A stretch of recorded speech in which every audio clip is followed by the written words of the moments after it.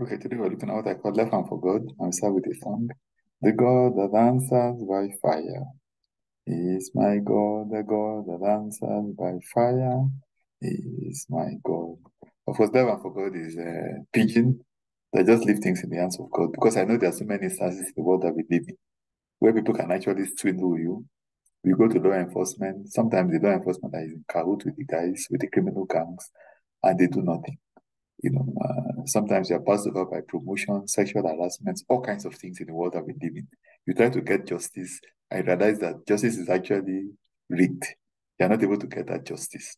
You know, so I just want to encourage you that God is able to shine through for you. And we're not talking about just keeping quiet and going your way. No, we're talking about praying Psalm 94, verse 1. O Lord, God of vengeance, O God of vengeance, shine forth.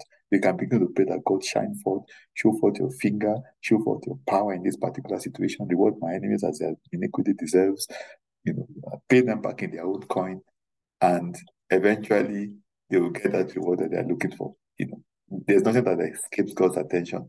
We need to move His hand with prayer so that He can come through for us, even when authorities and law enforcement have failed us. God is he never failing God is a God that answers by fire, and you can take that to the bank. You are going to have that victory.